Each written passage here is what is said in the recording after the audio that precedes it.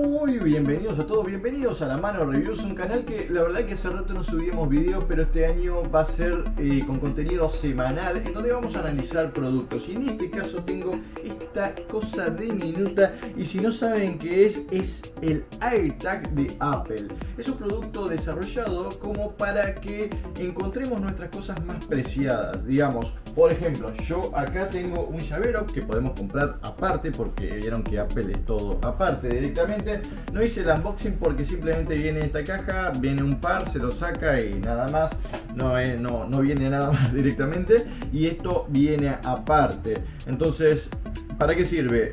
Por ejemplo, en este caso de llavero, yo lo voy a poner en la llave de mi auto. Si se llega a perder o lo que sea, tenemos una aplicación que se llama Buscar acá en el celular. Directamente se va a conectar a la red de dispositivos de Apple para encontrar este dispositivo que funciona realmente bien. Yo quedé como loco porque realmente es bastante útil. No sirve solo para eso, sino que podemos agarrar, comprar varios de AirTag. Ponemos uno en la billetera, uno en el bolso para la dama.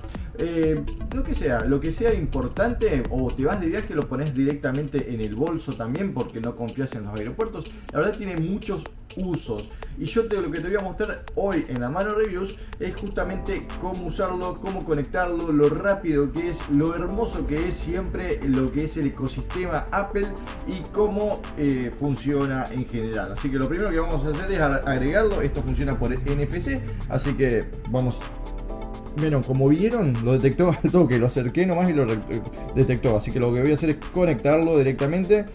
Vamos a ponerle eh, el nombre de AirTag, le vamos a poner llaves. Dale, vamos a ponerle llaves. Bueno, me va a conectar con mi Apple ID.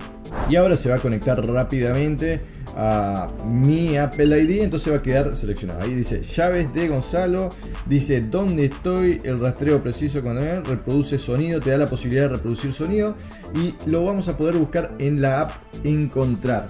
Así que lo que voy a hacer es esconderlo por aquí, directamente vamos a ponerlo por ejemplo, que yo lo pongo acá, en la agenda. dejé las llaves directamente acá en la agenda. Lo que voy a hacer es agarrar acá con el celular y voy a poner llaves de Gonzalo. Vamos a buscar. Dice que está cerca, a ver. Cuatro pies. Entonces, bueno, teóricamente acá te tiene que dar una flechita directamente. Vamos a poner, como estamos cerca, a ver, me voy a ir más lejos para que ver si está la flecha. Ajá. Como pueden ver, ahí apareció porque me fui a 10 pies. Y dice, anda para adelante. Bueno, dale, me voy para adelante. Dale. Correte vos. Correte. Dale, 7 pies, 6 pies. A ver, un sonido. Vamos a hacer un sonido. ¿Dónde está? ¿Dónde está? Arre que sabía. Aquí dice. Aquí. ¿Estará o no?